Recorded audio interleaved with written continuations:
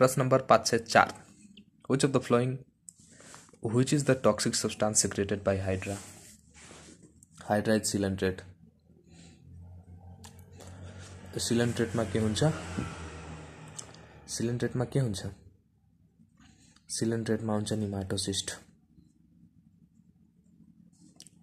निमाटोसाइट भनिदिउँ यसलाई है? यो हो स्टिन्जिन सेल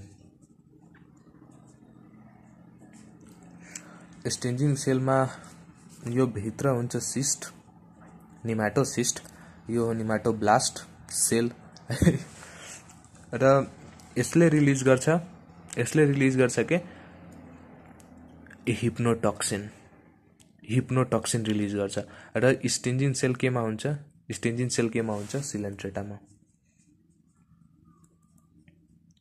हाइड्रा के हो?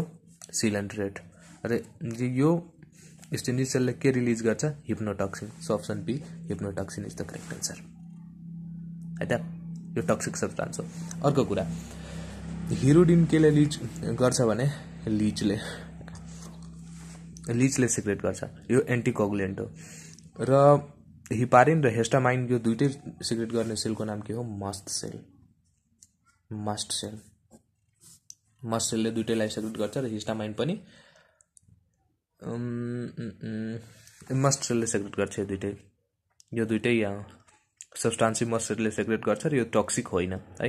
यो हिप्नोटक्सिन टक्सिक हो र त्यो चाहिँ केले सेक्रेट गर्छ भने हाइड्राले